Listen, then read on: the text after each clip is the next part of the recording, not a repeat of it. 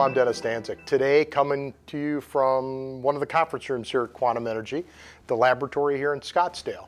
And we've got an interesting demonstration that we've set up here. We call it the magnetic rail.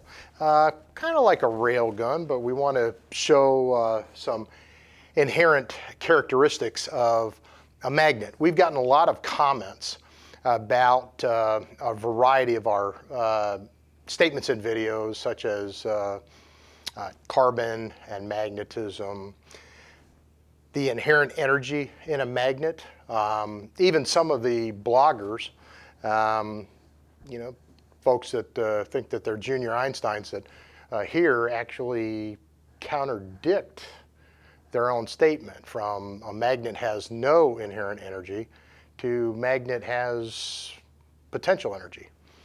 So we're not going to get into a physics lesson here or debate. Uh, there's uh, physics professors and physics experts around the world that are on multiple sides of multiple coins uh, as to what's going on in our universe, including all of the great discoveries uh, that have been made by our uh, new telescope that's in outer space, the Webb telescope, and all the things that it's telling us and revealing uh, to us about the galaxies. So we're going to leave all that aside because we'd be here for years.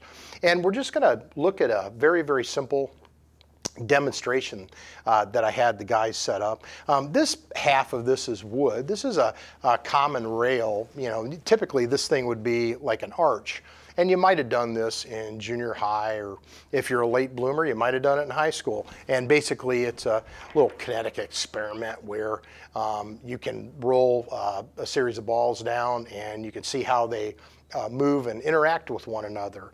Um, you might see this too dangled from strings where you let one go and the end one takes off and they hit back and forth.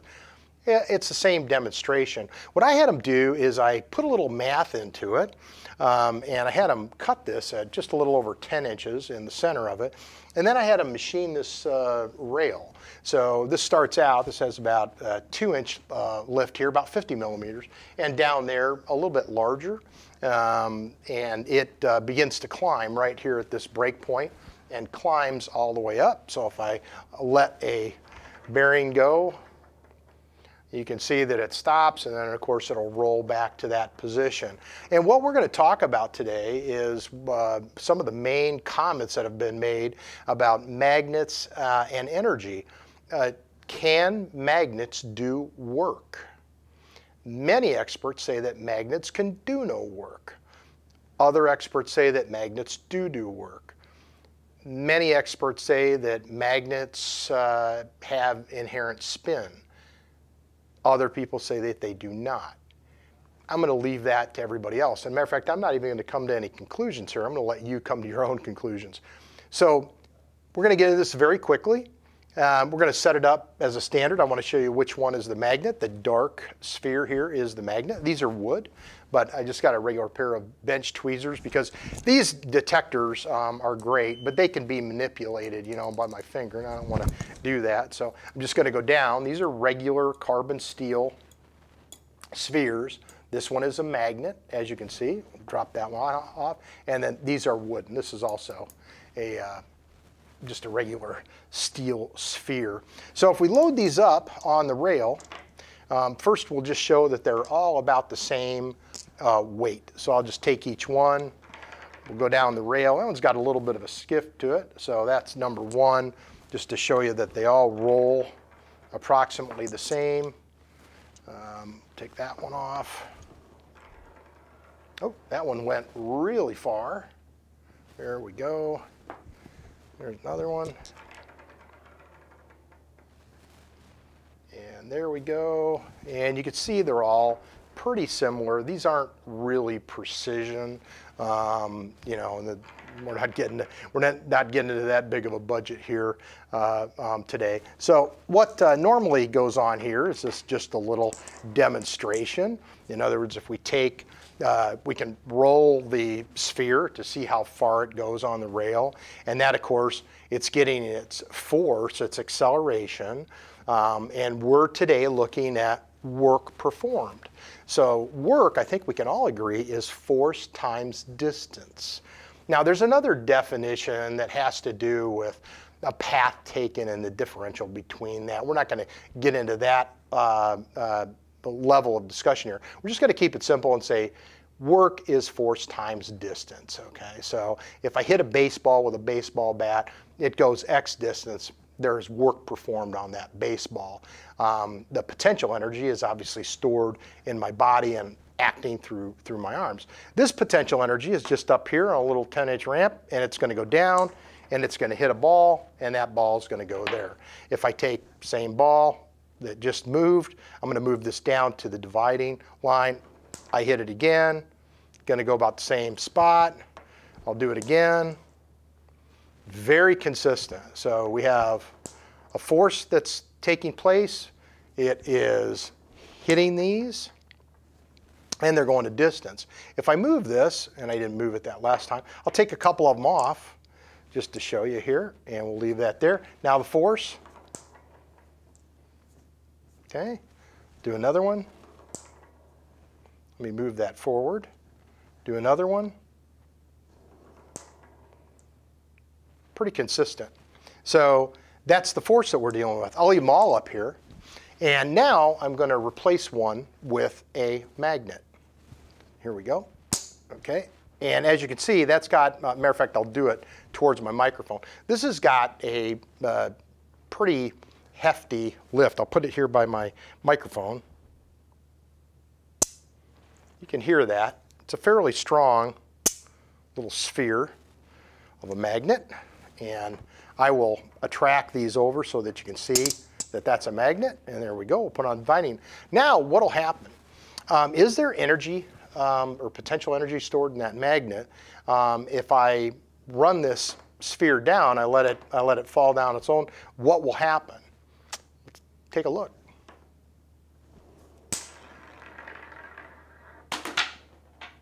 Quite a different result. And I can repeat that.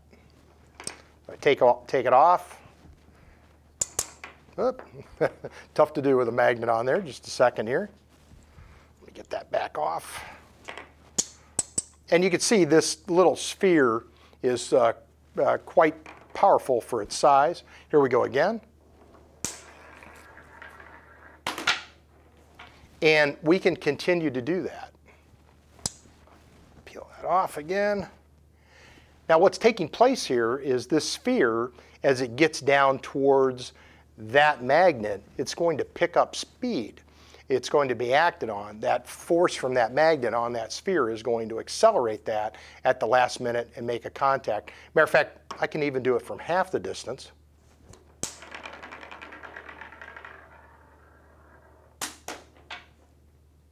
And it still moves it. And you can continue to do this. Here's another one. That one didn't roll very well. We'll see. There's a good one. Still a little bit slower, but not much slower. So I'm going to gather those back up. I'm going to pull the magnet off and put it here, put steel balls, be right back.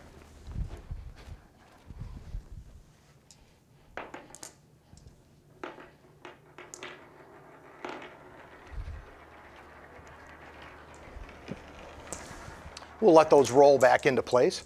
So what you've seen here is basically the steel demonstration. We just got some, some carbon steel balls. There we go. And that's very consistent. I can continue to repeat that.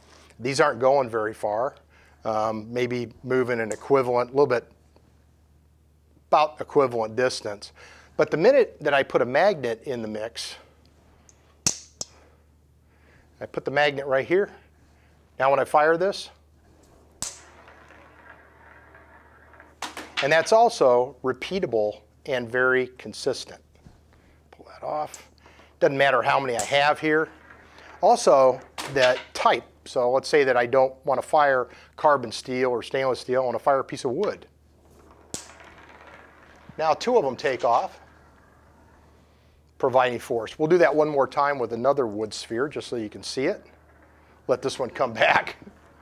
And you can see that's quite an incline. So we're not only firing from this short distance, we're, we're firing up, you know, and this has got a, a really nice one inch to three inch rise, about 25 to about 75 millimeter down on that end. So I'll, I'll leave this one out. I'll just fire it with this. There it goes again. That one came off. And as you can see, and again, we don't have to be the entire distance um, for this to have an action. Matter of fact, I'll, I'll do one here from about a third of the way down. And as you can see, whoop, laser light move, just a second.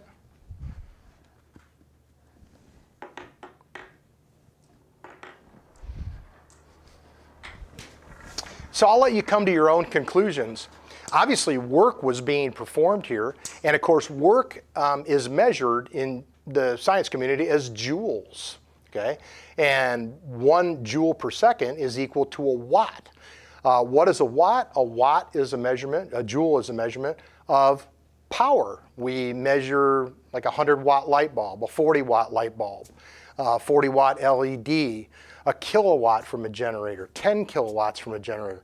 So these terms that we use, uh, either they're either they're in physics or electrical engineering, are kind of fungible. And a lot of people will blog now, or they'll get on that comment line and they'll um, type like, uh, well, like they're junior Einsteins. But here's the thing: uh, we do that every day. Um, it, does your automobile that you have does it have an engine or a motor? And there are people that will argue for months about the definition of an engine versus a motor. Here we don't really care. We're putting out a product or service um, to make uh, the world a better place and obviously to, uh, to earn a living. So this is a demonstration of magnetic force that has been converted to work. I'm not doing anything. There aren't any electrons going into this system uh, from the outside at all. It's an open system because I'm placing the sphere up here and having it roll downhill. Much like a photon system that we manufacture and sell is an open system. It is not a closed loop system. It has nothing to do with perpetual motion, free energy, uh, has nothing to do with uh, over unity or any of those things. And again, we don't discourage people from running down that path. Um, there, it's just like carbon. I'm going to put several links in here about the fact that carbon can be magnetic. It can be acted on as a uh, uh, by a magnet, and there are countless articles now. And it's the same thing. If you have, if you've been out of school for 30 years, um, you may have a degree from a, a great school.